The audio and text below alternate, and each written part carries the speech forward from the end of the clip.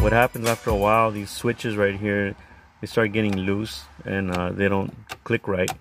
So then uh, sometimes you get flickering of the lights and stuff like that. And a lot of times it's when this uh, switch here starts getting loose and worn out.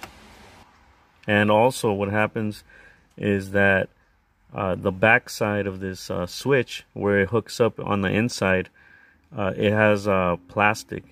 And after a while, the heat from the electricity starts melting that plastic and uh, little by little it starts uh, deteriorating all the insides of the switch here.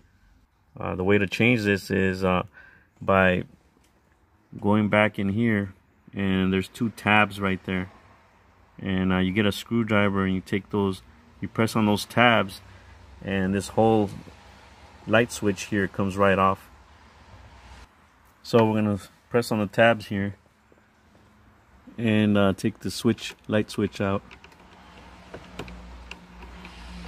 Here's the tabs. Just get a thin screwdriver a flathead and you just put it right in there. You click on that top tab and then the bottom tab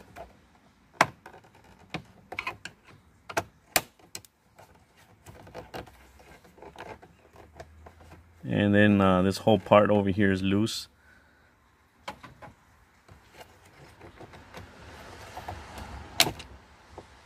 So then you you pull right. Once these two tabs come out you pull left and the whole switch comes right out. After that we go in and take this uh, clip off right here So it looks like the easiest way so that you don't break this clip here. The easiest way is to put your flathead screwdriver down here and you pop it up and with your thumb you push this uh, clip that way with your thumb. That's probably the easiest way to not crack this clip here because once you do then it's not gonna it's not gonna hold a tight fit there.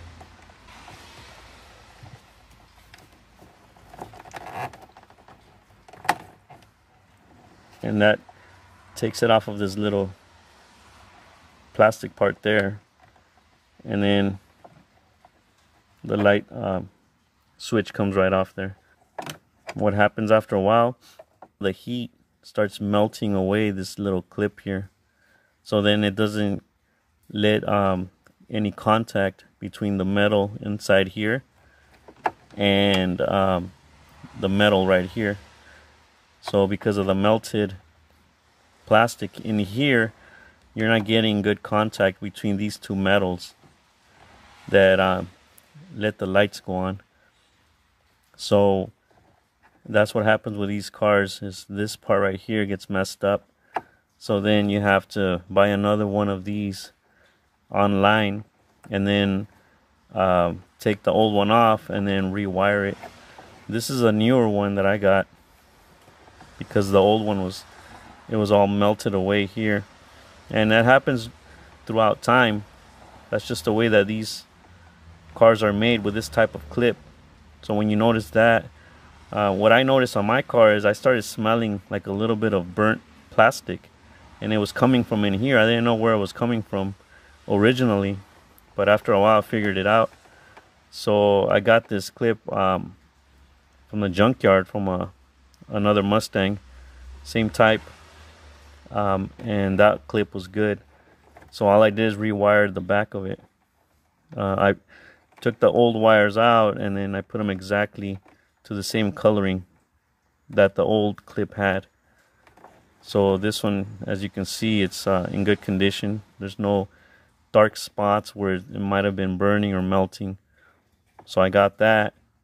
Um, that's really what goes wrong with uh, this part of the lighting on the car. After a while, this goes bad. Uh, not necessarily this um, light switch, uh, what happens more with this light switch is that these buttons start getting loose. That's what really goes bad on this after a while. So those are two things that go wrong with um, with the light switch here. So this is the new light switch that I bought. I got this online. You can get it anywhere where they sell Mustang parts.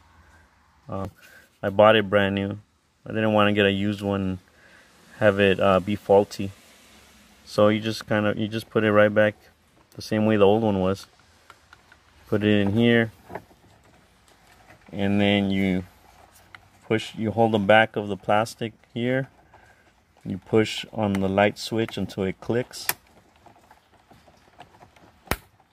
Just like that. And once you put the light switch on the clip, then you just push it right back in. Guide it in. Now right here, when you put it in, you gotta put in the right side first. So you do it the opposite way that you took it out. So the right side goes in first, and then the left side, and it pops straight in. Once you hear a click, you know it's all good to go.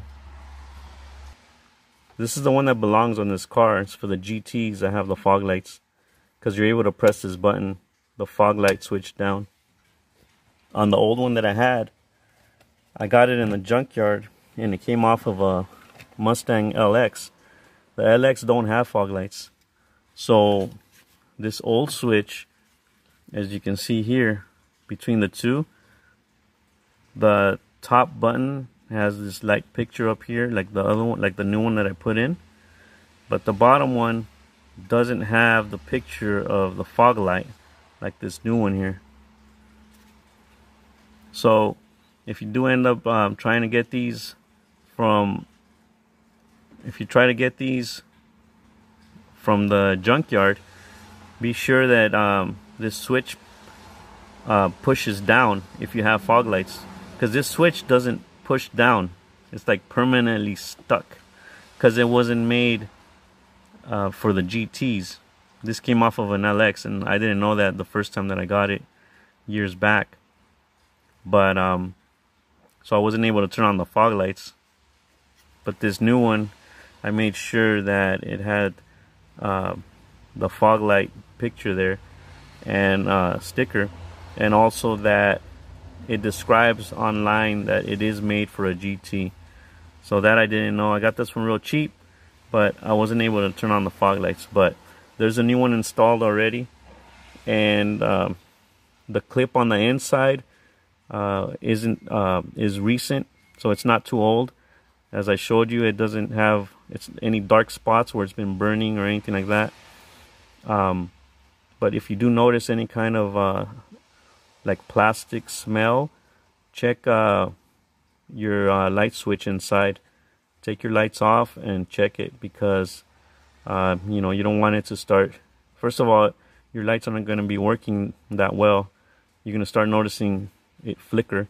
And number two is you don't want any kind of fire or anything in your car. So you want to do that. And that's it. That's how you install this light switch.